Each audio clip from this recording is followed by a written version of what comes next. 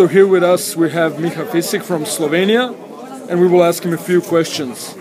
So hello, good day to you. Uh, what do you expect from today's tournament? Well, I expect to at least talk. Uh, that's why I came here. And um, asked me before about the decks. I expect today. I expect a lot of Dark Worlds because they are cheap and good, and a lot of also a lot of elemental heroes because they are also cheap and easy to get, and also they do good against a lot of one decks.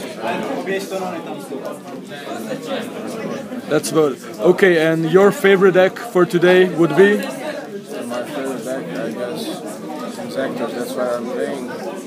Um, I be playing it more in the future because it depends too much on um, if you get. Upravo stavljamo parove druge runde. Okay. Well, uh, thank you for your time. This was a brief insight into your view. Thanks. Bye.